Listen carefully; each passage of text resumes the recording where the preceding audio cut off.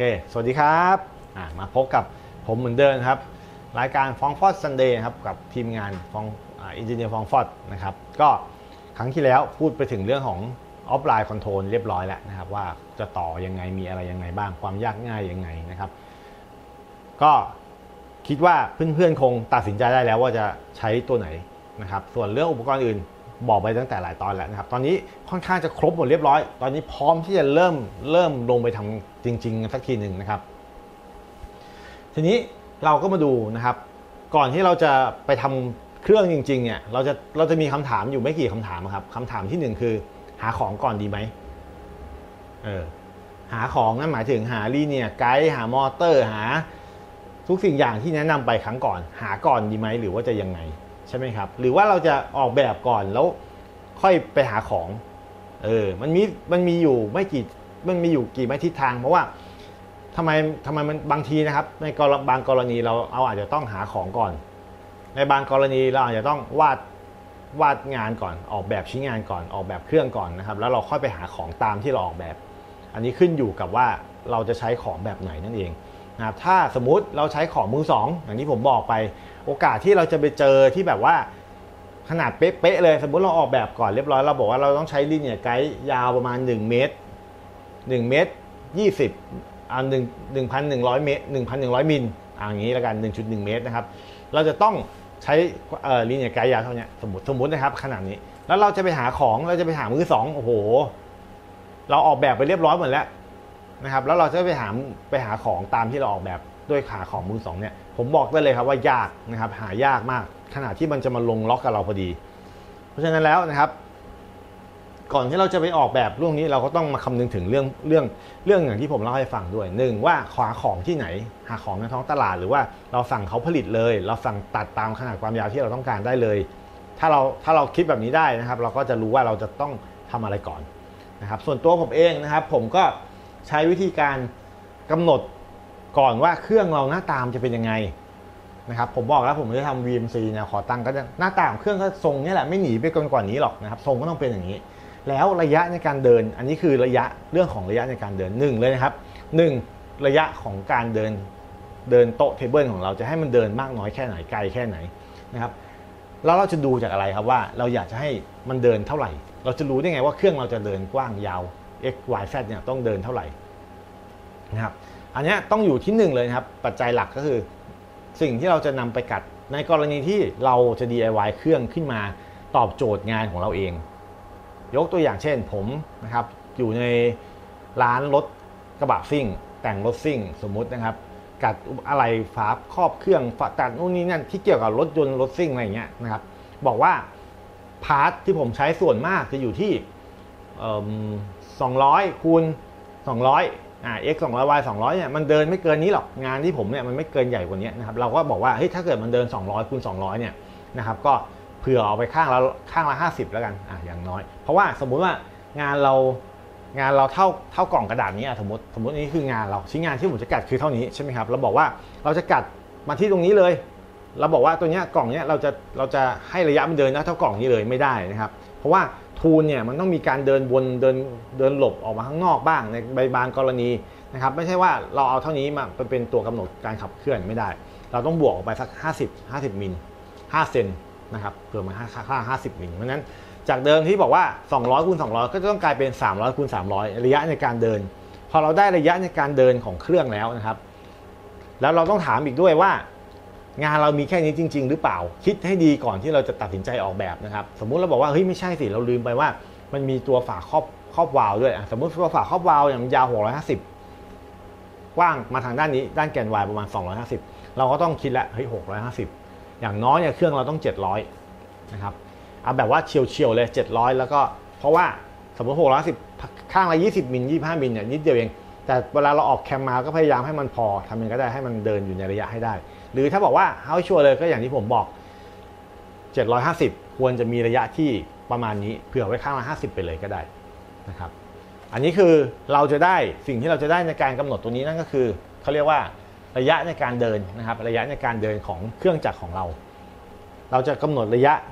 เดินของแต่ละแกนละตอนนี้เราบอกว่าแกน x ผมเอาที่ 750 แกน y ผมเอาที่ เ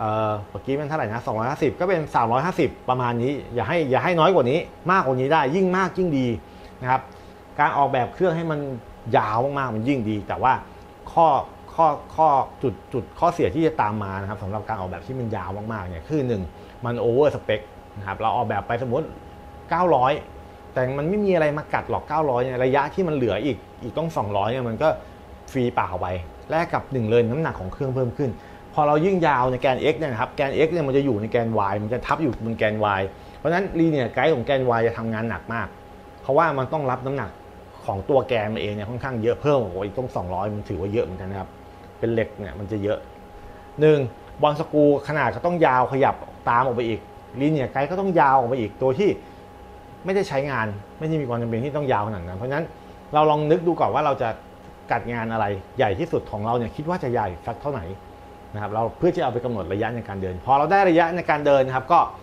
ใช้ซอฟต์แวร์ช่วยแล้วนะครับว่าในการซอฟต์แวร์ช่วยในการผลิตของเราก็คือตัว SolidWorks นะครับว่าเราจะเขียนทรงออกมาประมาณนี้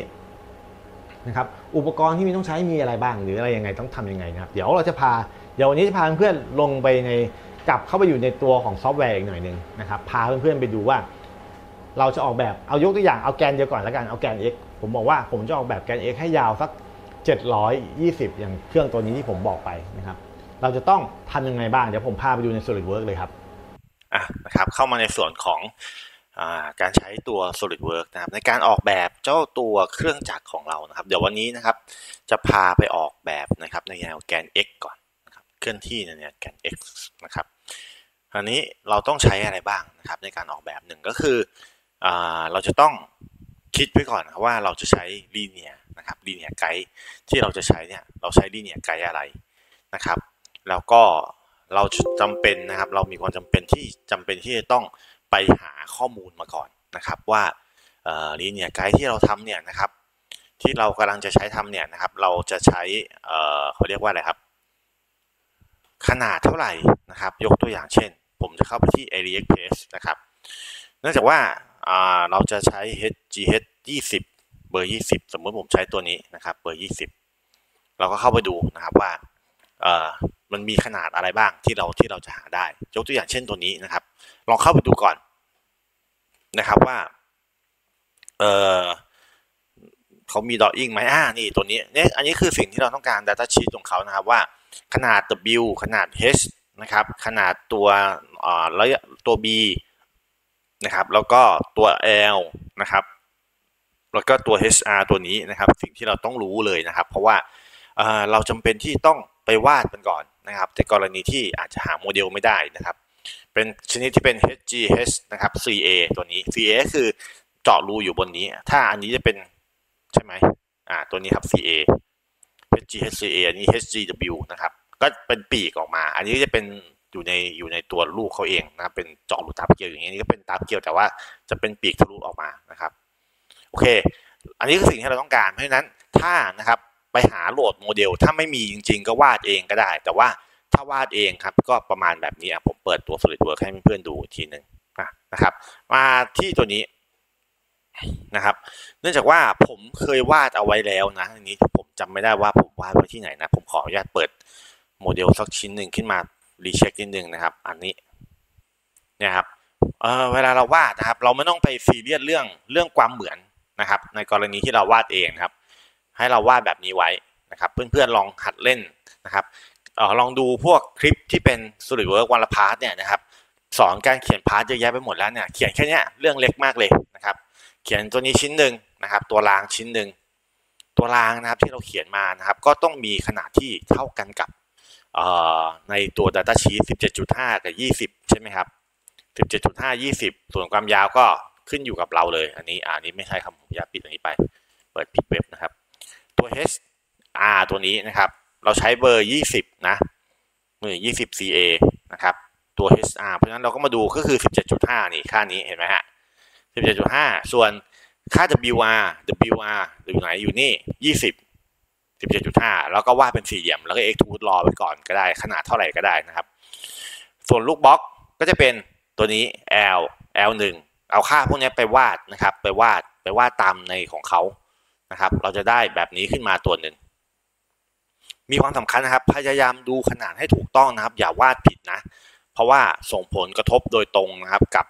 โมเดลเราเลยนะครับ ระยะรูต่างๆเนี่ยถ้าเราทวาดผิดแล้วเราเอาไปทำผลิตจริงเนี่ยมันก็จะผิดนะครับ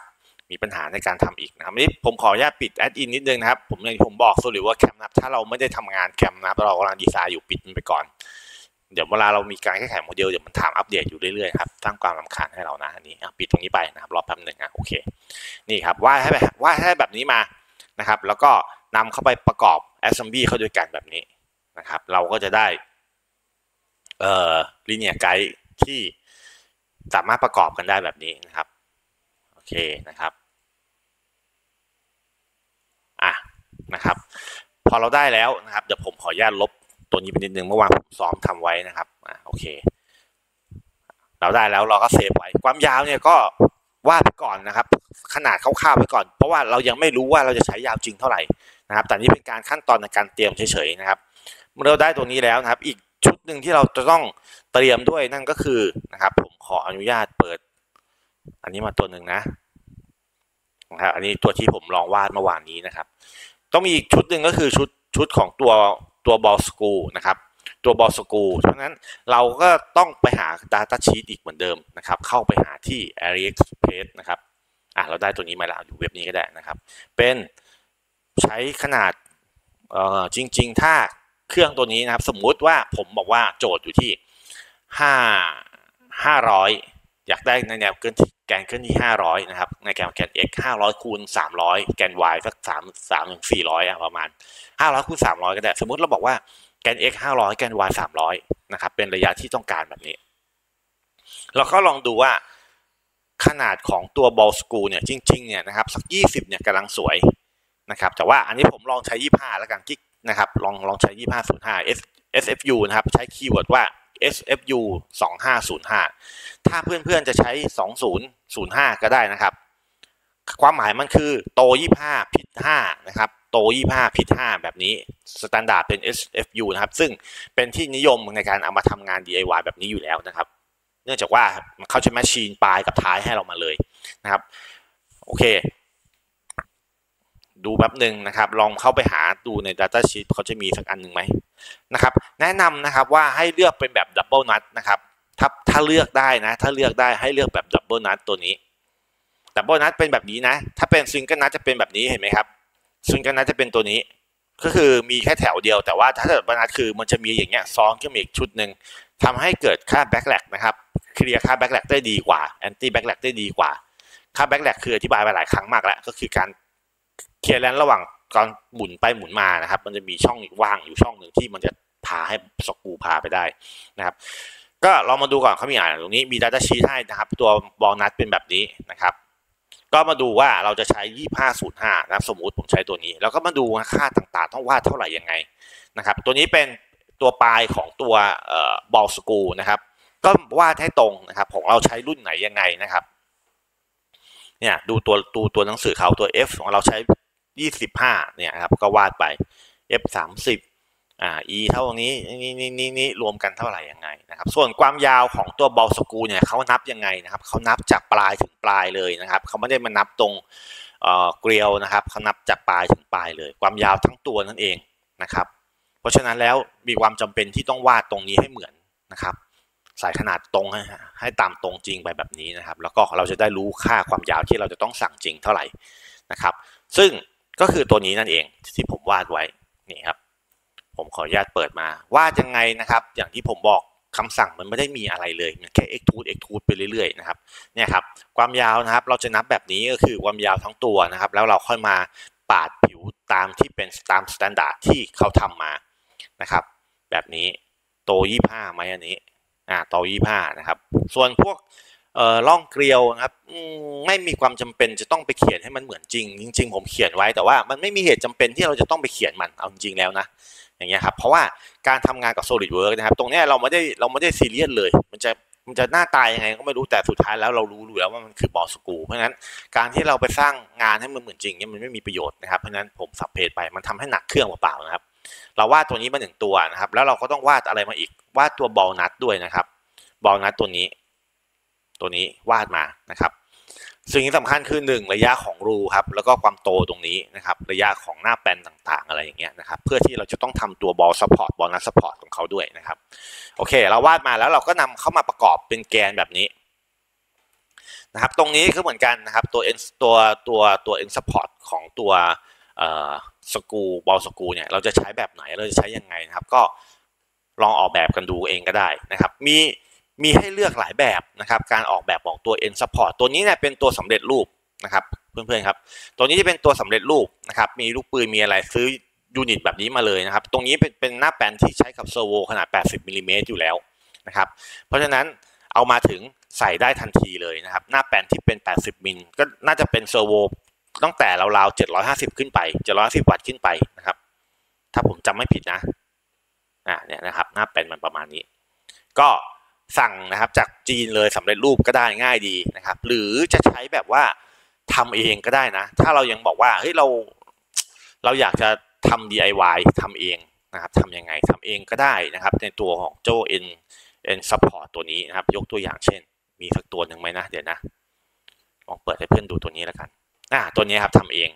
เห็นไหมครับ ก็ใช้ตรงนี้นะครับเป็นใส่ลูกปืนนะครับกันลุนไปฝั่งนี้ก็มีลูกปืนอีกอีกร่องหนึ่งเหมือนกันอยู่ข้างหลังนะครับกันมันเข้าออกนะครับ ก็ใช้อลูมิเนียมมาทำเอาเองก็ได้หาที่ยึดหาที่จับเอานะครับ ต้องมีตัวยื่นจับมอเตอร์ยังไงเนี่ยแล้วก็ลองออกแบบกันดูนะครับ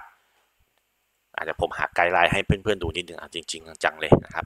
แต่ผมเปิดเครื่องใหญ่ให้เพื่อนดูเลยให้เพื่อนๆดูเลยแล้วกันนะครับ ตัวนี้อะ นะครับตัวนี้เขาเรียกว่าตัว support motor นะครับตัว end support แล้วอีกตัวหนึ่งก็จะเป็นอีกฝั่งหนึ่งนะครับ ที่มันอยู่ตรงปลายของบอลสกูก็คือประคองเฉยๆนะครับตัวนั้นก็จำเป็นต้องมีเหมือนกันนะครับ เพื่อที่จะประคองให้บอลสกูมันอยู่ในระยะที่ตรง เพราะถ้าถ้ากรณีที่ball screw มันยาวๆเนี่ยมันอาจจะมีการคล้อยได้นะครับ เวลาเวลามันทำงานจริง ๆ เวลามันมาอยู่อีกปลายหนึ่งอย่างนี้นะครับ ก็จะมีตัว support ไว้เพื่อยืดอายุการทำงานของตัวตัว ball screw ของเรานั่นเองอ่าเดี๋ยวรอแป๊บหนึ่งนะครับ จะให้ดู เดี๋ยวให้เพื่อนๆดูตัวอย่างอีกตัวอย่างหนึ่งนะครับ ที่เราบิวขึ้นมาเองนะครับ ก็มีข้อดีข้อเสียแตกต่างกันไปครับ ราคาราคาเนี่ยเอาจริงๆเนี่ยผมว่าถ้าบิวเองกับซื้อเขาเนี่ยนะครับ ไม่ทิ้งกันเยอะซื้อจะดีกว่า แต่อาจจะใช้เวลาในการสั่งซื้อนิดหน่อยนะครับ เพราะว่าผมสั่งจากจีนแต่ในบ้านเราผมยังไม่มั่นใจนะว่ามีเจ้าไหนขายหรือเปล่าลองอาหารดูเอาละกันนะครับอ่าตัวนี้ตัว end support ตัวนี้นะครับ ผมขออนุญาตเปิดขึ้นมานะครับ ทำเองแบบนี้นะครับเป็น guideline ให้นะครับ ตัวนี้ใส่กันรุนเข้าไปนะครับ ตัวนี้เป็นปลายที่ใส่ coupling ตรงนี้เป็นแป้นยึดมอเตอร์นะครับ ใส่มอเตอร์เข้าไปนะครับ ฝั่งนี้ก็ใส่เป็นลูกปืนแบบนี้นะครับ ลูกปืนมีซีลมีซีลด้วยนะอันนี้นะนะครับ แล้วก็ตรงนี้นะครับยึดรูนี้นะครับยึดกับโครงโครงสร้างเครื่องวายบอสกูโผล่มาตรงนี้นี่มอเตอร์นะครับ เพราะฉะนั้นทำเองก็ได้นะครับ ถ้ามีเวลาทำนะครับ ถ้าแบบขยันขยันก็ทำเอง แต่ถ้าซื้อได้ก็ดีครับ เพราะว่า มันเป็น standard part นะครับ อุปกรณ์เหล่านี้นะครับ ควรหลีกเลี่ยงนะครับ ควรหลีกเลี่ยง อันนี้ก็จะเป็นการออกแบบที่เป็นเฉพาะตัวของเรานะครับ ไม่มีใครเหมือน แต่ประเด็นมันอยู่ที่ว่าเวลาเราจะ maintenance เนี่ยนะครับ มัน maintenance ยาก ยกตัวอย่างเช่นเอออยากจะเปลี่ยนชุดนี้ทั้งชุดอะไรเงี้ยก็ต้องมานั่งกัดใหม่ทำใหม่ แต่ถ้าเราใช้ตัวที่เป็นมอเตอร์เมาส์ของเขาเลยเนี่ยนะครับ เนี่ย ก็ ไม่ต้องทำอะไรเลย เปลี่ยนง่ายซื้อชุดนี้มาเปลี่ยนก็ได้ ถ้าเกิดมันเสียหายอะไรยังไงนะครับ แล้วก็การใช้งานจะยืนยาวกว่าตัวนี้นะครับ ตัวนี้จะยืนยาวกว่าจะจะแข็งแรงทนกว่าเพราะว่าเป็นเหล็กหล่อนะครับ ตัวนั้นที่เราทำเองเป็นอลูมิเนียมนะครับ ก็แล้วแต่เพื่อนๆจะเลือก ราคาเนี่ยผมว่าไม่ทิ้งกัน อันนี้อยู่ราวๆไม่เกิน 2,000 บาท ถ้าเราไปซื้ออลูมิเนียมหนา ขนาดนั้นมาทำฝาสกัดฝาจะไปจ้างเอาแมชชีน ก็ผมว่าน่าจะเกินด้วยนะครับ อันนี้ก็ทั้งแบบลูกปืนทั้งอะไรมาก็ชุดหนึ่งก็ราวๆสองถึงสามพันนะครับ เพื่อนๆลองเลือกดูว่าจะใช้แบบไหนนะครับอ่าโอเค อันนี้ปิดไปก่อนนะครับ มันจะใช้ตัวนี้แล้ว ตอน save อ้าวเรียบร้อยนะครับซอฟต์แวร์หลุดนะเดี๋ยวผมขออนุญาตเปิด SolidWorks ใหม่แป๊บหนึ่งนะครับเปิดขึ้นมานะครับ ก็สิ่งที่ระหว่างรอ SolidWorks นะครับ สิ่งที่จำเป็นในการใช้หนึ่งคือ Data Sheet เหล่านี้นะครับ เข้ามาโหลดเข้ามา แล้วก็มาดูด้วยนะครับว่า สิ่งที่เราต้องดูอีกรอบหนึ่งก็คือเดี๋ยวตอนที่เราดีไซน์เสร็จเราจะต้องมาดูว่าไซส์ที่เราจะเลือกใช้เนี่ยมันมีหรือเปล่าความยาวของตัว linear guide ตัวนี้นะครับ850 900 750 700 อะไรแบบนี้นะครับ เราจะต้องเลือกใช้ไซส์ไหนให้มันลงตัวที่สุด แล้วเราก็จะได้สั่งถูกนะครับ ใช้แบบ CA อะเราเลือกไปสมมุติเราใช้ 850 เนี่ยเราจะรู้ละประมาณเอ่อ100 เหรียญหนึ่งร้อยเหรียญนะครับหนึ่งร้อยเหรียญอยู่ที่ประมาณกี่บาทลองลองเช็คดูหน่อยร้อยเหรียญอยู่ที่ประมาณสามพันบาทนะครับในในสามพันบาทเราได้อะไรบ้าง เราได้ หนึ่งคู่แบบนี้เลยตามในรูปเลยนะครับ เราได้ลีเนียไกด์ตัวรางสองตัว ตัวลูกบล็อกอีกสี่ตัวนะครับ แพ็คมาอย่างดีนะครับห่อมาอย่างดีเลยนะครับ ส่งมาถึงเรา ใช้เวลาส่งประมาณเจ็ดถึงสิบห้าวัน เอาอย่างมากสุดหนึ่งเดือนอะบอกแบบนี้นะครับ แต่ที่ผมสั่งสั่งไปก็อยู่ไม่เกินเดือนประมาณนี้ ไม่ต้องกลัวโดนโกงครับ ได้ของแน่นอน ผมตั้งแต่สั่งมายังไม่เคยมีประเด็นกับกับเจ้าเอลีเพสนะครับ โอเค เดี๋ยวสรุปว่ามาแล้วนะครับ เราไปเริ่มทำกันใหม่อีกทีหนึ่งนะครับ อะเราเริ่มเลยแล้วกัน ตอนนี้เราเรามี linear guide เรียบร้อยแล้ว เรามีตัว ball screw เรามี ball support เรามีตัวมอเตอร์เรียบร้อยแล้ว เราวาดมอเตอร์ มอเตอร์เราก็ต้องวาดด้วยนะครับจาก150 วัตต์ไปหาดูว่าเอ่อ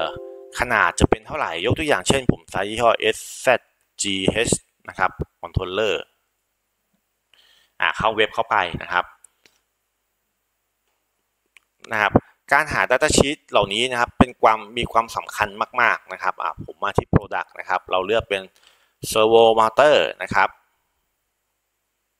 อ่านะครับช้าหน่อยหนึ่งครับเนี่ยนะอย่างเงี้ยเราก็มาดูว่าเราจะใช้วัตต์เท่าไหร่นะครับ1.5นู่นนี่นั่นลองเลือกดูแล้วกันนะครับหาจนกว่าจะเจอวัตต์ที่เราต้องการ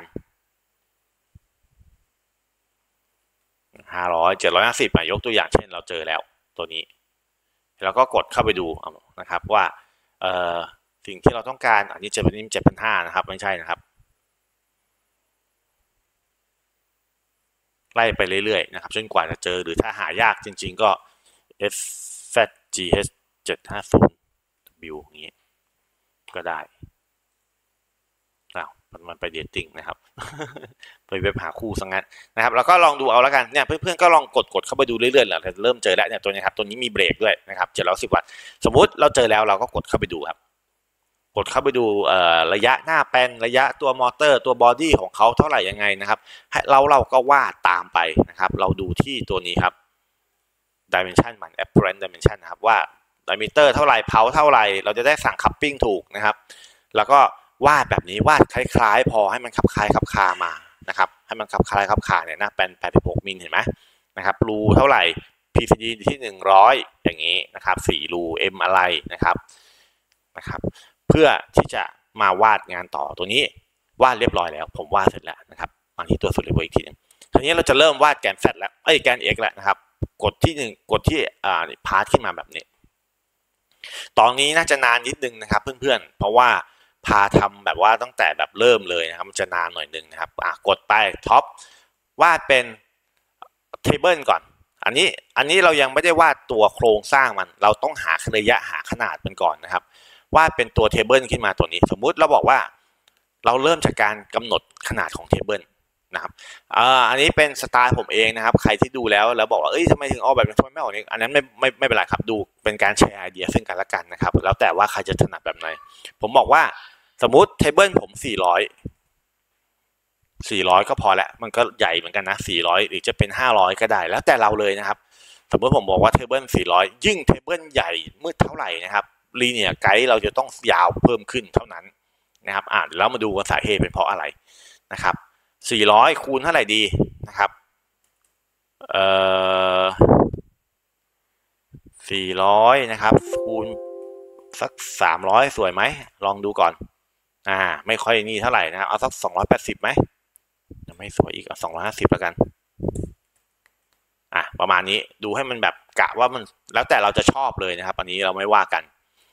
หรือว่าเราจะใช้อัตราส่วนอย่างที่ผมบอกไปวันก่อนนู้นอะลองดูครับ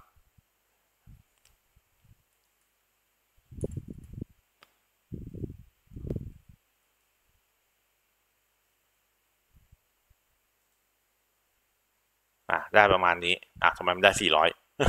พอดีเลยเหรอเออแปลกดีนะครับ ก็เป็นอัตราส่วนที่ผมเคยเคยบอกเพื่อนๆไปนะครับว่าโกลเด้นเรโชอะไรประมาณนี้คือดูแล้วมันโอเคเอาเอาตามที่เราสบายใจนะครับ อันนี้เราไม่ได้ไม่ได้ว่าไม่ได้ไม่ได้บังคับกันนะครับ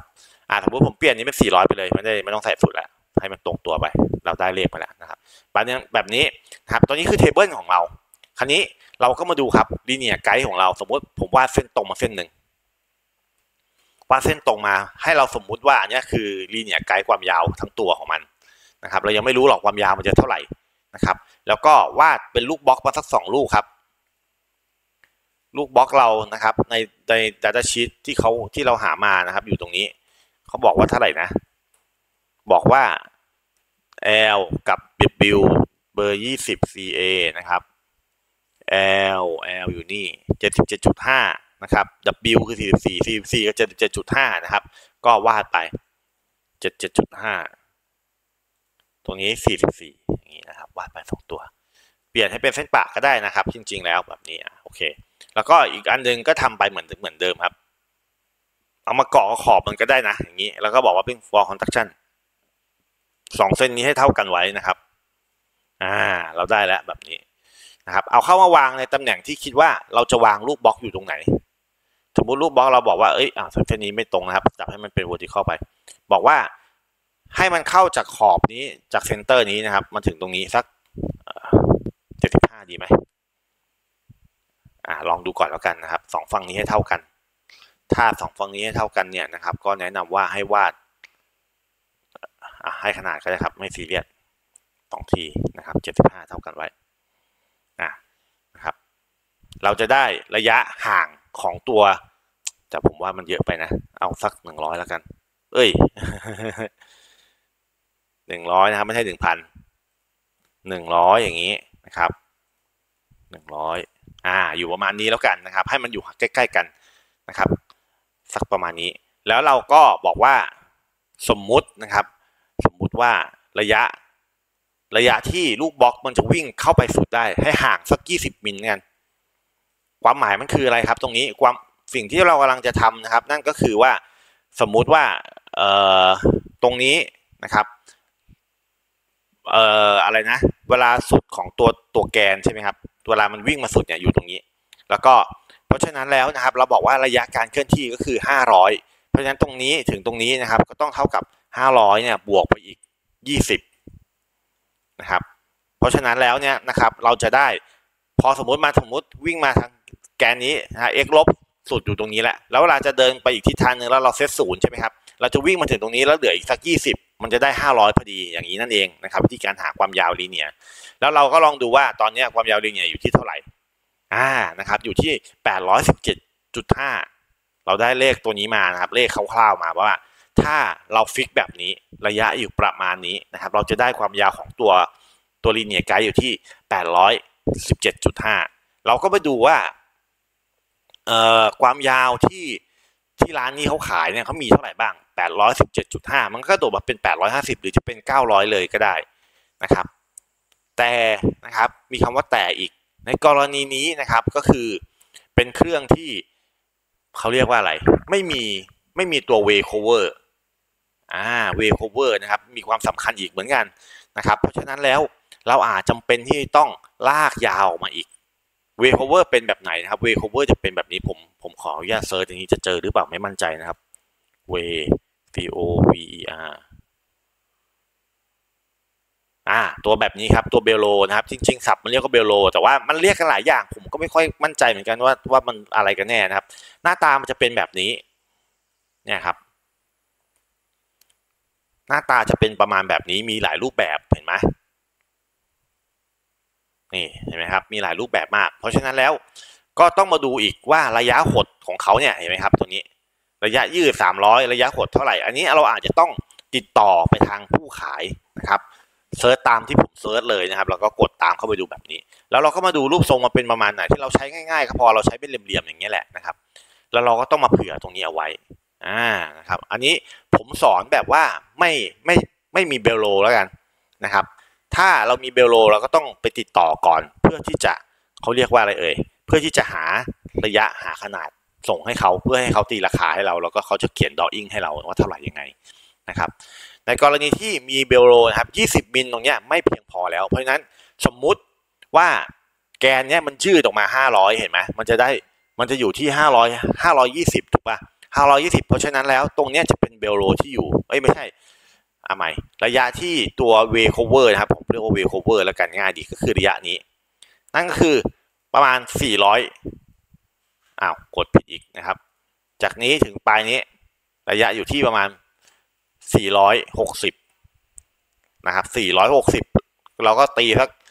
406 470 แล้วกัน 470 ประมาณนี้ เราก็ต้องไปบอกว่าระยะยืด 470 เวลามันหดตัวเนี่ย เวลามันหดตัวแบบนี้เนี่ยอยู่ตรงนี้นะครับ เวลามันเวลามันยืดมัน450ใช่ไหมแต่เวลามันหดเนี่ยมันเหลือเท่าไหร่ อันนี้น่าจะประมาณ10%ก็คือเหลืออยู่30เพราะฉะนั้นแล้วเมื่อกี้เราเท่าไหร่นะ460มันก็จะเป็น46ใช่ไหมครับ เพราะฉะนั้นตรงนี้เราก็ต้องบวกไปอีก บวกไปอีกเท่าไหร่46บวกไปอีก เอา50ไปเลยแล้วกันนะครับ นี่ ซึ่งซึ่งบวกแค่นี้ก็ไม่เพียงพอด้วยนะครับ ต้องบวกเลขตรงนี้เลยนะครับ เราต้องบวกให้มันยาวออกมาจากตรงนี้ อะผมผมทำให้ดูเหมือนจริงเลยแล้วกัน ตรงนี้ถึงตรงนี้ครับ บวกไปอีกเท่าไหร่นะ60เอ้ยไม่ใช่เดี๋ยว50นะครับนี่นะครับเพราะว่าตรงเนี้ยพอมันมาพอมันพอมันฝั่งนี้มันดันมาสุดใช่ไหมครับฝั่งนี้จะตัวตัวเวคเวอร์มันก็จะถูกเบียดให้เหลือ 50อะผมเผื่อเผื่อไปเลย 60แล้วกันแบบนี้ มันก็ถูกบีบเข้ามาเพราะฉะนั้นตรงนี้ก็จะเป็นพื้นที่ที่มันเหลือนะครับ เพราะฉะนั้นแล้วเราจะได้ความยาวออกมาเห็นไหมครับ เริ่มยาวออกมาเรื่อยๆแล้วเริ่มยาวออกมาเรื่อยๆแล้วนะครับ ในระยะการเคลื่อนที่ที่ 500 นะครับ ประมาณ 500 นะครับ บวกนิดหน่อยนะครับ เราจะต้องใช้ลีเนียไกด์ความยาว 918 ขึ้นไปนะครับ เราจะต้องใช้ความยาวของลีเนียไกด์ที่มีขนาด 18 10อ่าเขาเรียกว่าอะไรครับ 918 ขึ้นไป เพราะฉะนั้นเราเข้ามาดูใหม่อีกรอบหนึ่งดูนั้นดูไหนเอออยู่หน้านี้ 918 ก็จะเป็น 950 เพราะฉะนั้น โอเค เราบอกว่าถ้าเราทำเครื่องนะครับแนวแกน x แล้วมี way cover ด้วย แล้วก็ระยะเคลื่อนที่อยู่ที่ 500 นะครับ โต๊ะงานเป็นแบบที่ในว่าเราเลยเราจะต้องใช้ linear guide ตัวที่ยาว 950 เพราะฉะนั้นระยะจาก 500 มันก็จะขยับเพิ่มขึ้นมาอีก 10-20 ประมาณนั้นได้อยู่นะครับ มีมีระยะให้เราใส่พวก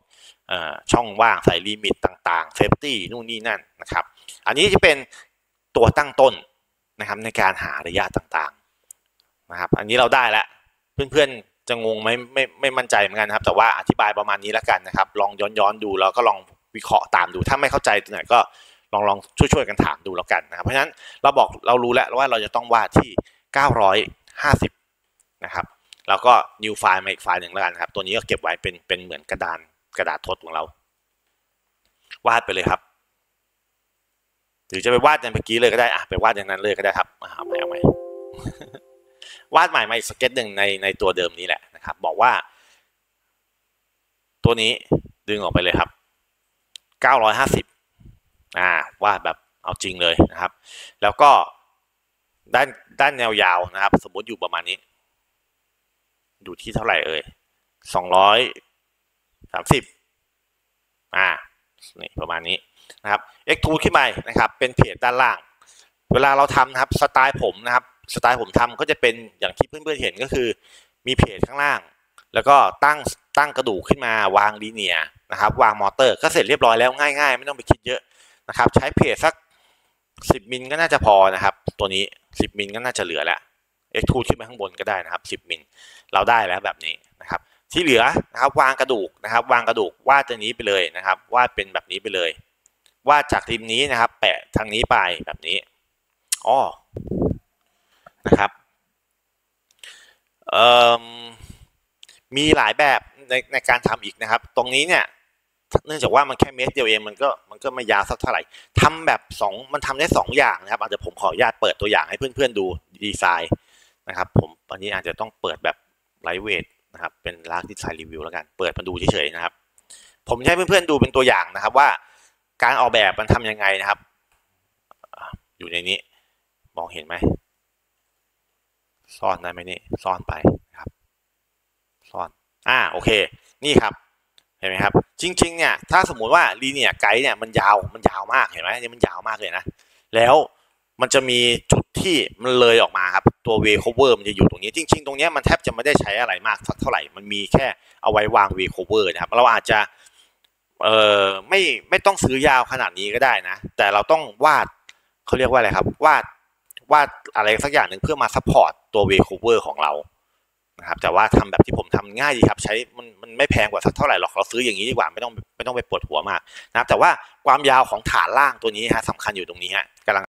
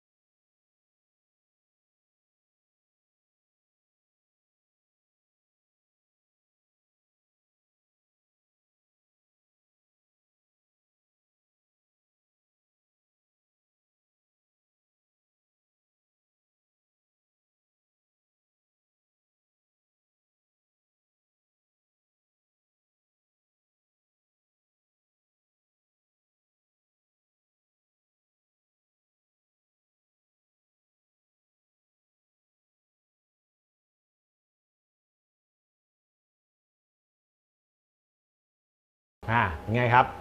เราก็ได้แกน x มาเรียบร้อยนะครับ ส่วนกรรมวิธีในการทำต้องใช้อะไรยังไงเขียนลิเนียไกด์โหลดอะไรยังไงก็จะเขียนหรือจะโหลดเลือกเอาแล้วแต่ความสวยงาม ถ้าโหลดง่ายก็โหลดเอา แต่ถ้าหาโหลดไม่ได้จริง ๆ ก็ต้องเขียนเอาเองนะครับ ซึ่งก็ไม่ได้ยากอะไรทำให้มันแค่รูให้มันตรงเท่านั้นเองนะครับ เพราะฉะนั้นแล้วเราจะได้ แกนทำงานขึ้นมาหนึ่งแกนแล้ว เพราะฉะนั้นทำซ้ำๆเดิมกับอีกแกนอื่นๆด้วยแกน y ก็ทำเช่นเดียวกัน แกน z ก็ทำเช่นเดียวกัน ส่วนรูปทรงของเครื่องนะครับ อาจจะต้องทำการบ้านนิดนึงนะครับ เพราะว่าแต่ละคนเนี่ยชอบไม่เหมือนกัน ชอบไม่เหมือนกันนะครับ แต่ละคนชอบไม่เหมือนกันเราจะต้องออกแบบให้มันมีเว้ามีโค้งมีตัดอะไรยังไง แล้วแต่เราจะลองทำดูเลยนะครับ ลองไปเซิร์ชดูจากฝรั่งก็ได้นะครับหรือจะดูเครื่องผมเป็นเป็นแนวทางไปก็ได้นะครับเป็น แข็งๆทื่อๆอย่างเงี้ยเป็นเหลี่ยมๆไม่ได้มีหลบมุมหลบอะไรนะครับแต่ทำงานได้ดีเลยด้วย แล้วก็ทำงานง่ายด้วยนะครับการประกอบการ fabrication ต่างๆ ก็ง่ายนะครับการเขียนแบบที่ดีนะครับการออกแบบที่ดีเราต้องคำนึงถึงด้วยว่าจะผลิตยังไง ใช้ขบวนการอะไรไปผลิตนะครับเพราะว่าถ้าเราทำให้มันอลังการเท่าไหร่นะครับยิ่งอลังการมากเท่าไหร่สิ่งที่ตามมาคือราคาในการเป็นแมชชีนค่อนข้างจะสูงนะครับในการ fabrication ในการใช้เหล็กต่างๆ ค่อนข้างจะสูงเพราะฉะนั้น พยายามออกแบบให้มันอยู่ใน standard ทั่วไปใช้เหล็กทั่วไปที่มีในบ้านเราให้ได้นะครับอันนี้คือเทคนิคในการออกแบบที่ดีนะครับโอเคก็สำหรับแกน X ก็ประมาณนี้นะครับเดี๋ยวเราจะไปดูแกนอื่นต่อในคลิปต่อๆไปด้วยนะครับสำหรับโมเดลนะครับอาจจะไม่ไม่ได้แชร์ให้แต่ว่าก็สอนเพื่อนๆเขียนแล้วกันนะครับ เพราะว่าขนาดมันคงไม่ไม่ซ้ำกันหรอกเพื่อนๆอาจจะมีระยะที่สั้นกว่านี้ อาจจะต้องทำสั้นกว่าผมนะครับแล้ว หลักการเลือกกับการหลักการเลือกใช้พวกบอลสกูต้องใช้ขนาดยาวเท่าไหร่เนี่ยก็ขึ้นอยู่กับระยะนี่แหละนะครับระยะบอกว่าระยะเดิน 700 เราบอกจะไปซื้อวันสกูยาว 700 เลยไม่ใช่ มันต้องซื้อยาวของนั้นนะครับ มันต้องมีระยะเผื่อไว้บ้างนะครับ ไม่ใช่ว่าเราบอกระยะขึ้นที่ 700 แล้วเราเอาบอลสกรู700 เลยไม่ได้นะครับ ต้องมีความยาวเผื่อไว้ค่อนข้างเยอะด้วยนะครับ ตามที่คลิปแนะนำไปนั่นแหละนะครับ ก่อนหน้านี้ โอเคนะครับ ก็สำหรับตอนนี้นะครับการเขียนแกน x นะครับก็ประมาณนี้การการทำ motor support ต่าง ๆ อะไรพวกนี้นะครับ ตามในคลิปได้เลยนะครับโอเค ก็ตอนนี้ก็ประมาณนี้นะครับ ขอบคุณครับ